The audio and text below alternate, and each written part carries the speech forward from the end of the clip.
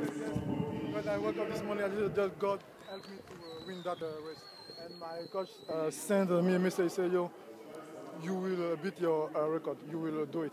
I said, okay, coach. He said, just think that you are alone in, in, uh, in your uh, in your line, and you uh, can do it. And I uh, did it. I said, thanks, thanks to God. Yeah. Tell us about your training. Are you training China? Yeah, I'm. I'm training China. When I'm telling someone they are, they, they, they feel so uh, surprised uh, about that. It's really, really not easy to train in China. You know, there's not so many competitors in China. I'm uh, training uh, alone, and my coach is, is in Germany.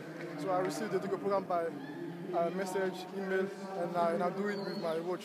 And my and my God just helped me to train every day like this. So how long will you continue to train in China? I don't know because I'm going to do the PhD uh, program in uh, September. I don't know if I let the track or I continue the track. I don't know. I don't know. I really don't know. Well, then all the best. Yeah, thank you. Thank you. From here, what's next for you after this championship? Yeah, next is to prepare for the Continental Cup.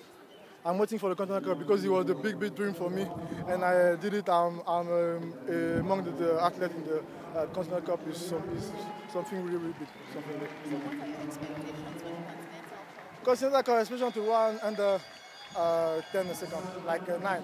To be among the, the, the, the athletes who run like uh, uh, fast around 9, 8, uh, 5, it's a big thing. I wish that one day I, can run that at 9. Yeah, yeah. Yeah, you know, you know uh, Niger- Nigeria is a, is a, is a big uh, nation for uh, sprint. So when, when you are against Nigeria, you feel uh, a little bit afraid.